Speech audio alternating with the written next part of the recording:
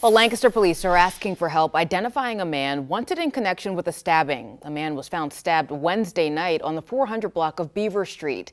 And this is who police are looking for. Police say the victim and the suspect do not know each other, and this does appear to be a random act of violence. The victim was taken to the hospital, and we're told he is expected to survive.